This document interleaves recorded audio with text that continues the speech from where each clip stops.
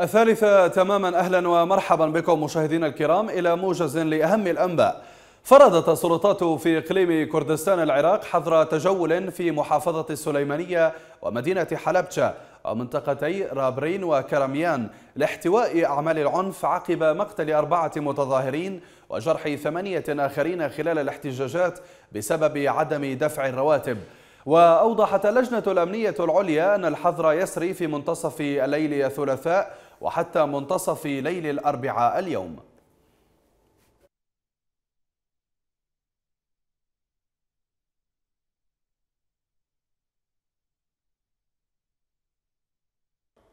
أدانت الأمم المتحدة أعمال العنف التي صاحبت التظاهرات في محافظة السليمانية ودعت سلطات إقليم كردستان العراق إلى ضرورة حماية الحق في الاحتجاج السلمي وحماية حرية التعبير والسماح لوسائل الإعلام بنقل الأخبار دون ترهيب أو ضغط. وأكدت ضرورة بدء التحقيقات على الفور لتحديد مرتكبي أعمال العنف ومحاسبتهم بشكل كامل.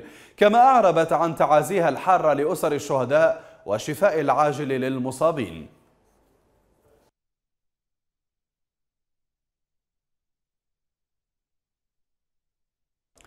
نفت خلية الإعلام الأمني هروب موقوفين من أحد السجون في إقليم كردستان العراق على خلفية تناقل صفحات التواصل الاجتماعي مقطع فيديو مصاحب بتعليق أنها حالة هروب هروب موقوفين من أحد السجون في الإقليم ودعت إلى توخي الحذر الشديد من نقل الشائعات والأخبار المفبركة التي تقف خلفها جهات تريد إرباك الرأي العام وزعزعة الثقة بالمنظومة الأمنية. وأن يتم اعتماد المصادر الرسمية المخولة بالتصريح عن الأخبار الأمنية.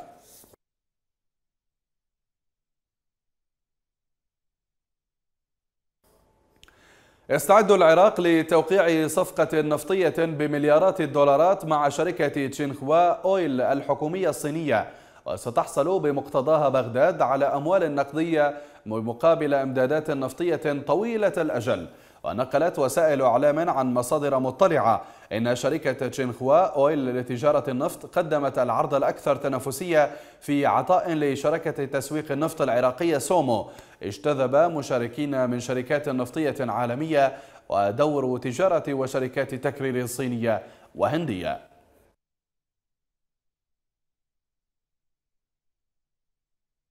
أكد عضو اللجنة المالية النيابية فيصل العيساوي أن رواتب الموظفين خلال العام المقبل مؤمنة وأضاف أن عشرات التريليونات مفقودة في وزارة المالية لعدم وجود من يوجهها بالاتجاه الصحيح. وسبب عدم تقديم الوزارة أي إنجاز هو أن المدير العام يقوم بجميع الواجبات بدل الوزير الذي من المفترض أن يعطي القرار النهائي.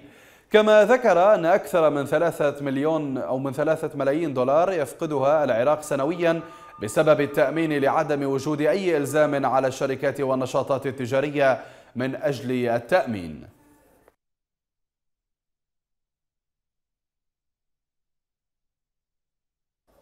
أكد رئيس لجنة التربية النيابية قصي الياسري تضمين تخصيصات مالية للمحاضرين والعقود والإجراء في الموازنة 2021 مرجحا إحالة الموازنة إلى البرلمان الأسبوع المقبل. وقال إن التخصيصات تقدر بتريليون و300 مليار دينار مؤكدا أن مجلس الوزراء سيصوت على الموازنة ويحيلها إلى البرلمان الأسبوع المقبل.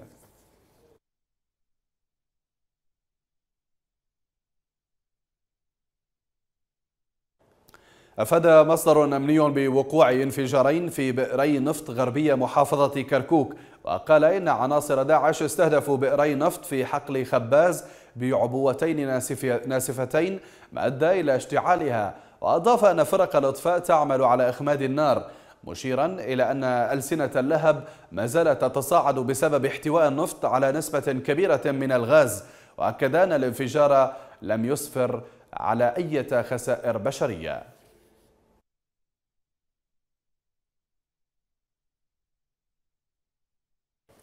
أكد السفير التركي لدى بغداد فاتح يلدز في تغريدة أن تركيا عازمة على مكافحة الإرهاب وقال أثناء زيارتي لرئيس جمهورية العراق برهم صالح بينت بأن بلدنا يرغب بالتحرك سوية في مع العراق في هذا المجال وأضاف يلدز يجب أن نقضي سوية على بلاء الإرهاب الذي يؤثر سلبا على وضع البلدين.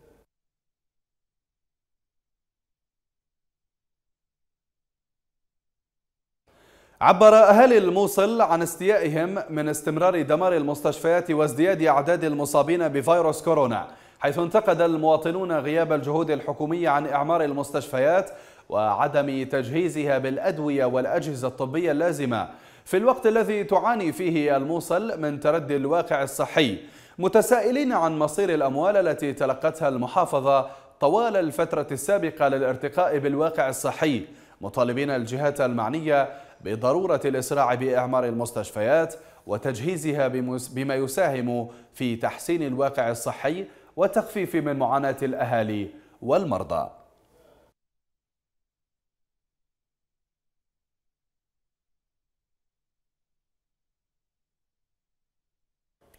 أكد عدد من التجار وأصحاب المحلات في سوق البورصة بالموصل القديمة أكد ارتفاع أسعار بعض المواد الغذائية خاصة الدهن والزيوت الوطنية والمستوردة. عازين سبب ارتفاع أسعار هذه المنتجات إلى ارتفاع كلفة الإنتاج وارتفاع سعر تداول الدولار وزيادة الطلب مقارنة بالعرض.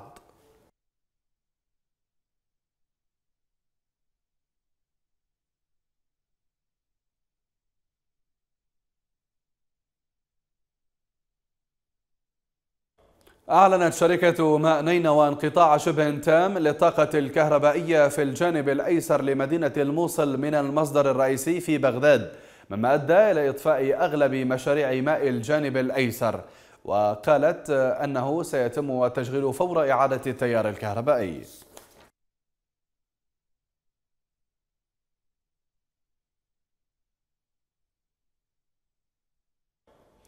أكد الرئيس الإيراني حسن روحاني أن عودة الولايات المتحدة الأمريكية للاتفاق النووي ليست بحاجة إلى وقت ومفاوضات وإنما بحاجة فقط إلى توقيع من الرئيس الجديد جو بايدن. ونقلت وكالة فارس الإيرانية تأكيد روحاني أنه, ما أنه إذا ما عادت الأطراف الأخرى للاتفاق النووي فإن إيران ستعود أيضا لجميع التزاماتها مؤكدا أنه بالإمكان إزالة أي أجهزة طرد مركزي تم وضعها حديثا في المنشآت النووية إذا التزمت الأطراف الأخرى بتعهداتها.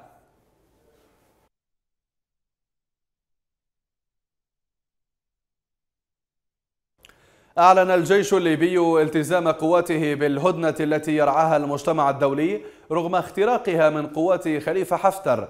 جاء ذلك في سلسلة تغريدات نشرها المتحدث باسم الجيش الليبي محمد جنونو وقال فيها كل من أجرم بحق الليبيين مكانه قاعات المحاكم لا قاعات الحوار والتفاوض. مضيفا قواتنا ملتزمة بالهدنة التي يرعاها المجتمع الدولي لكن حفتر حاول أكثر من ثمان مرات اختراقها في محور سرت. وتابع جنونو نؤكد على رفضنا لأي حل يحمل بين سطوره وجود أي أثر لحفتر. ونحن متوافقون ومتمسكون بما أعلنه وزير الدفاع صلاح النمروش باستبعاد المتهمين بارتكاب جرائم حرب وجرائم ضد الإنسانية من أي مناصب.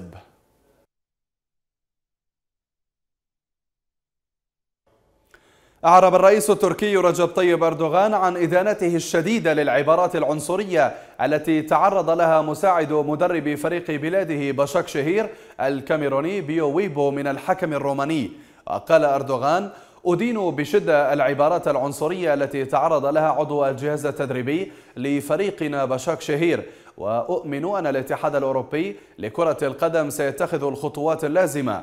مؤكدا وقوف تركيا في مواجهة كافة أشكال العنصرية والتمييز في الرياضة وفي جميع مجالات الحياة دون قيد أو شرط.